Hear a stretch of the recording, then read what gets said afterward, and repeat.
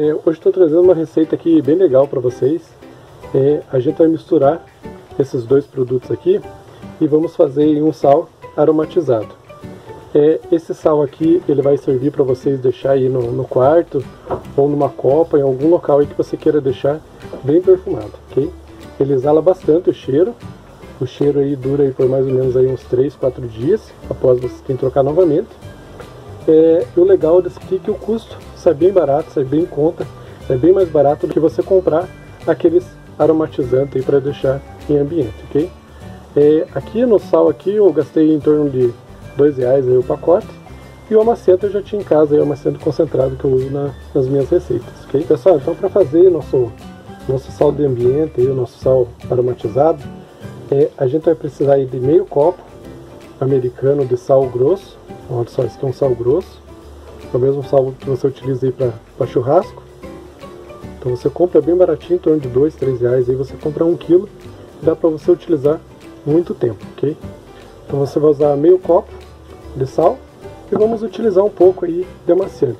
É, esse amaciante aqui eu gosto dele porque ele é concentrado, o cheiro dele também é maravilhoso. Então eu acabo utilizando esse daqui, ok? Mas você, caso queira, vocês podem utilizar o amaciante que você estiver aí é, a única diferença é que vai durar um pouco mais ou um pouco menos a exalação desse cheiro, ok? Então vamos fazer a mistura dos produtos, é bem fácil mostrar para vocês. Ó.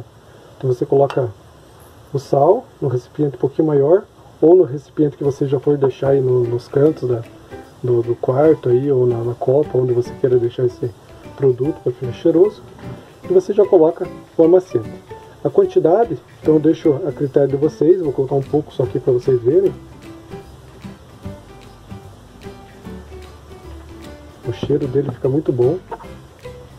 É, o sal vai manter esse cheiro aí, ele vai deixar é, exalar um pouco mais forte ainda o cheiro, devido a ser um produto higroscópico, que ele absorve água, ele vai acabar exalando esse perfume aqui. Então é só isso, não tem muito segredo, é só mistura do amaciante com sal. Daí caso você queira é, separar esse produto aqui, colocar em potinhos menores, você pega um punhado dele, de cada um, e coloca em potes menores e deixa nos cantos da casa onde você queira deixar para exalar esse cheiro aqui maravilhoso, ok? Então é só isso que eu tinha para mostrar para vocês. Então eu agradeço a todos, peço para vocês deixar o like e compartilhar nossos vídeos nas redes sociais. Então obrigado e até a próxima.